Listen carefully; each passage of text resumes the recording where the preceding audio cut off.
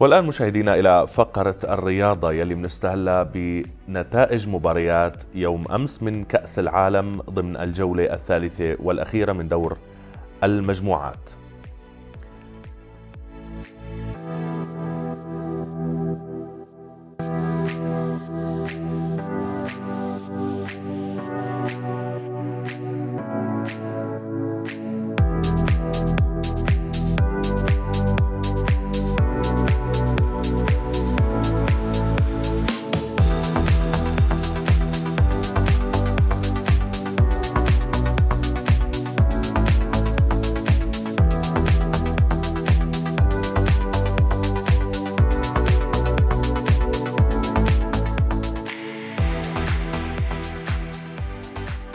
إذا مشاهدينا من مباريات يوم أمس التي كانت إقصائية وشهدنا صعود لإنجلترا والسنغال وهولندا وأيضا الولايات المتحدة بمقابل إقصاء قطر الدولة المضيفة وأيضا إقصاء للإكوادور التي قدمت أداء لافتا وإقصاء لإيران التي كانت على وشك التأهل وإقصاء لويلز التي قدمت مستوى مقبولا في هذا المونديال. والآن إلى مباريات اليوم. في مونديال كأس العالم ضمن الجولة الثالثة حيث ستشهد العديد من المباريات آه، القوية والمرتقبة للفرق العربية تحديدا التي لم تخرج آه، قطر فقط خرجت حتى الآن. آه، ما زالت تونس لديها آمال قليلة لكن ستواجه فرنسا بداية عند الساعة السادسة. في نفس الوقت ستلعب وفي نفس المجموعة أستراليا ستلعب مع الدنمارك. لكن عند الساعة العاشرة سنرى منتخب السعودية وماذا يستطيع أن يقدم للتأهل إلى الدور القادم عندما يواجه المكسيك. أيضا الأرجنتين ستواجه بولندا في موقعة نارية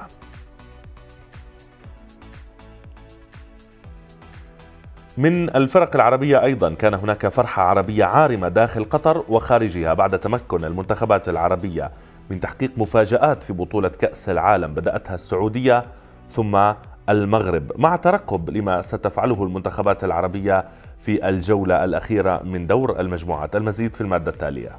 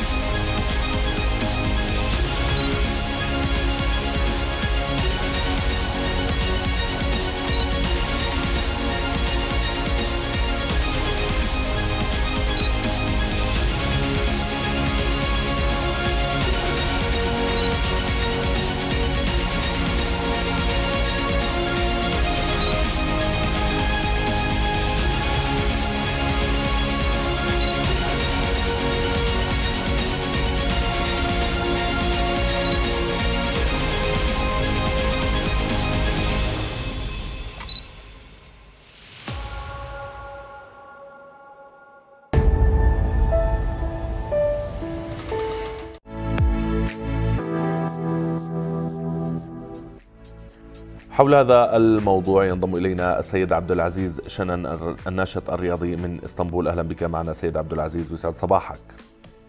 أهلا وسهلا أهلا بك. بداية يعني الفرق العربية في المشاركات السابقة من المونديال لم تحقق هذه الإنجازات الكبيرة باستثناء ما فعلته الجزائر عندما واجهت ألمانيا في مونديال 2014 وكانت منافسة نارية.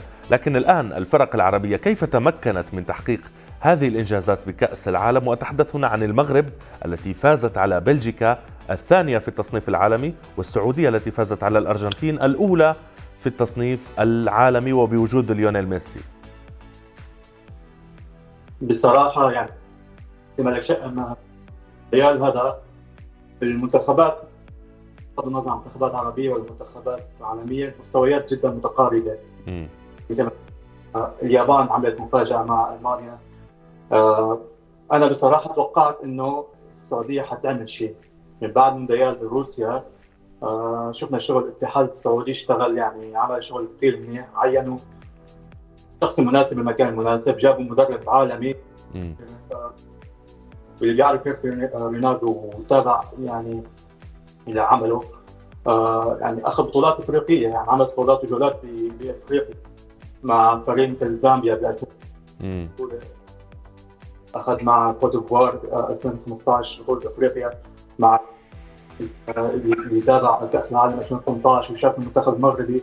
كان بمجموعه ناريه كان مع كان مع إسبانيا والبرتغال واللي شاف المباريات تحديدا شاف إنه المنتخب المغربي يعني مم. يعني كثير بالمباريات بس قله التوفيق والحظ السيء يعني خذل الفريق.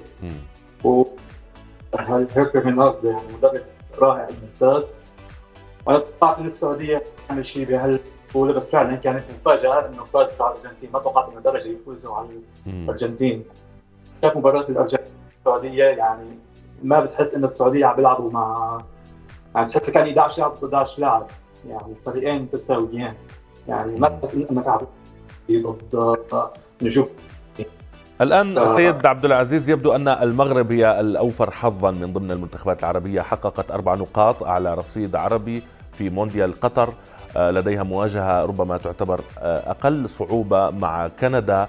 آه، السعودية لديها مواجهة أقل صعوبة أيضا مع المكسيك لضمان بطاقتي التأهل لهذين المنتخبين. أيضا تونس لديها حظوظ وإن كانت حظوظ صعبة جدا أمام فرنسا.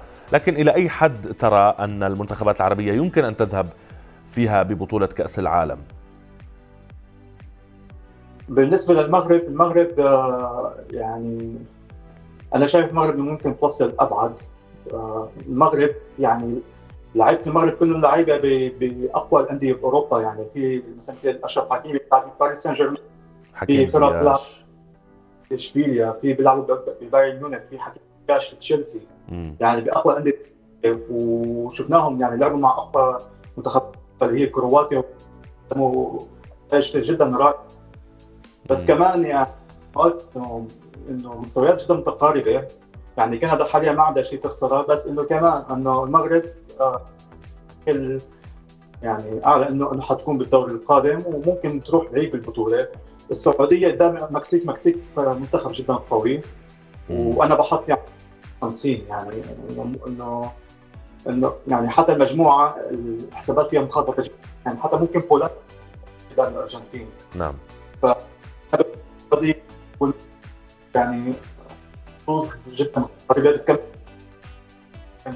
تاهلوا وتعمل وبكل الأحوال البعض يرشح المغرب أن تصل إلى أدوار إقصائية أكثر في حال تأهلت اليابان أو كوستاريكا لأن ثاني المجموعة آه، آه، ستكون المغرب أو ربما أول المجموعة. إذا صارت أول المجموعه ستلعب مع فرق آه، مثل اليابان وكوستاريكا ربما تكون طريقها أسهل حتى ما بعد الدور الثاني ثمن النهائي.